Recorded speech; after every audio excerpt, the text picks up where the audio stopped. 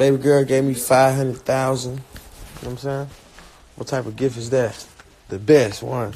Seen a lot of people hating shit, talk about, uh, goddamn, she, she didn't think about it.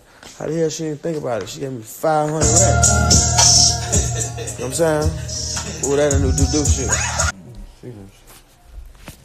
Yo, what's poppin'? What's going on with y'all, man? Hope y'all had a good weekend. I sure did. Uh, birthday weekend. Kicked it with the family now. You did. Family, wife, kid. You know I mean?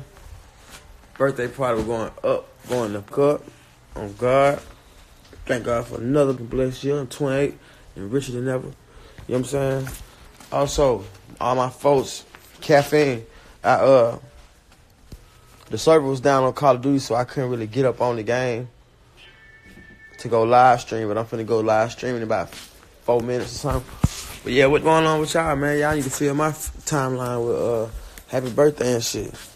Y'all ain't wish me enough happy birthdays. I need I need some more happy birthdays for a show. Also, I had a great weekend, man. Turned 28 and never felt so good. Uh, richer than ever.